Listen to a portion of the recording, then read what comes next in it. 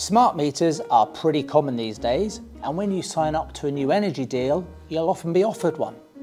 Having a smart meter means you can do away with having to submit your meter readings manually. They'll be automatically sent to your supplier, which means you'll get a more accurate bill for your energy usage. You'll also be given an in-home display. This little thing is quite useful and it's an interactive way of seeing how much you're spending daily and can even give you real-time information. They're free to install and a simple way to keep track of your energy consumption and they can help you identify ways to save energy and save money. You can even connect them to apps like the USwitch app, which gives you even more information about your energy usage and help you save money throughout the year. A smart meter, it's not mandatory, but some suppliers will require you to have one installed when switching to specific tariffs. For example, a time of use tariff or tracker tariff, well, they'll require you to have a smart meter to be connected. However, if you can't have one installed or you don't want the fuss of organising an installation, you can still send in your meter readings manually. Do smart meters break?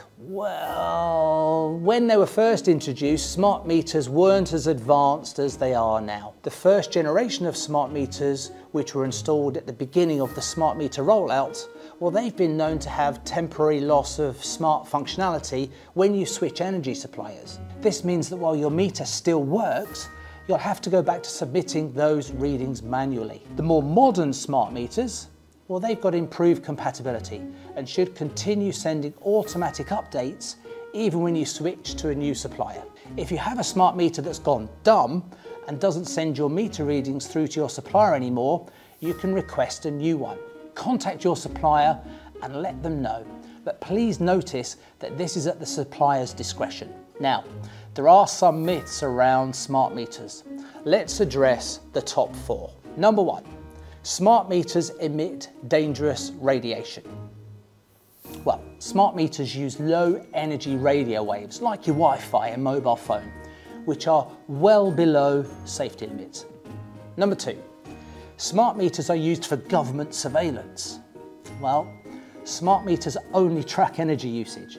They don't collect any personal, audio or visual data, and data is encrypted and it's private. Number three, Smart meters increase energy bills. Well, the purpose of a smart meter is to ensure accurate billing.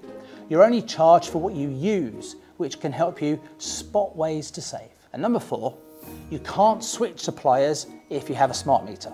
Well, you can absolutely switch suppliers if you have a smart meter. Newer models keep all functions and will work as normal when you move to a new supplier. To learn more about smart meters and to find energy deals that can help you save, visit uswitch.com.